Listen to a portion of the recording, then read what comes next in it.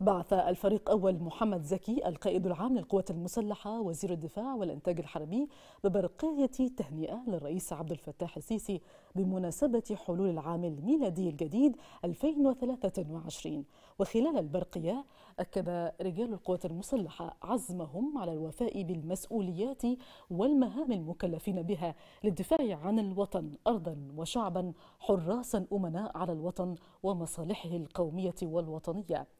لتظل القوات المسلحة على العهد بها الدرع الحامي للوطن والحصن المنيع لشعبه وتاريخه الحضاري المجيد.